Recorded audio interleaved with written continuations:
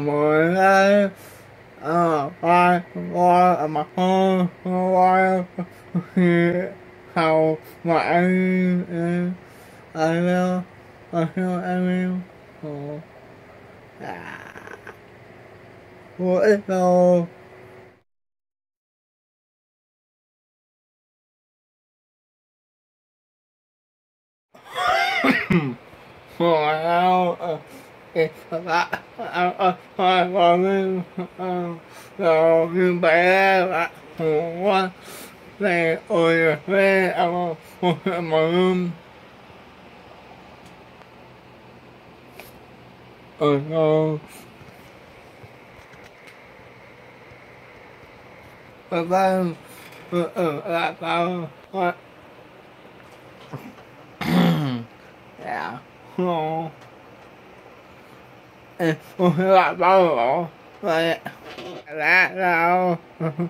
anh hào mà đã em him đã anh may ô là hồ mình người mặc hôm yeah em him em một hạt đó yeah and I will, I am mama was um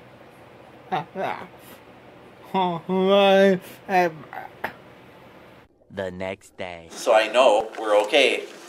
He's following me, and that red light is still blinking. And here is why um, you're you're wanting to be, uh, by the grace of God, a Christian. And and let me describe it to you this way. Um, there are a lot of religions in the world, a lot of belief systems. Okay, I kind of have them up here on this chart, which I sort of think is interesting. Um, uh, world religions, every stick figure represents a little more than a half a billion people. Well, you got you got this religion or belief system, which is truth, uh, called Christianity uh, about half of the Roman Catholic variety, half, about half of other denominations. Uh, Lutherans, Baptists, Presbyterians, Congregationalists, uh, Pentecostals, uh, Episcopalians. Okay, and that, that's about two and a half billion of the seven and a half billion people in the world. Then you've got uh, Muslims. That's a whole different belief system, of course, whole different religion. 1.7 billion people approximately. Then you got Hindus, over a billion of those, uh, largely in, in India. Uh, then you have a bunch of people with, who really have no belief system. And in a way, that's the most common one in the United States of America. Um, they've described American religion as moralistic, therapeutic deism. but let me explain that to you. Deism means that most Americans think there's a God. Moralistic tells us that they, they think he's got some advice for their life. Okay? But he's not too judgmental.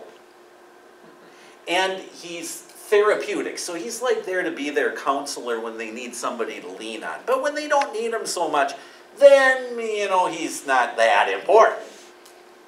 That's, and that's, that's really not much of a God. That's, all, that's almost either none or other. Other example of none would be the communist nations like China. Officially, it's atheism, right?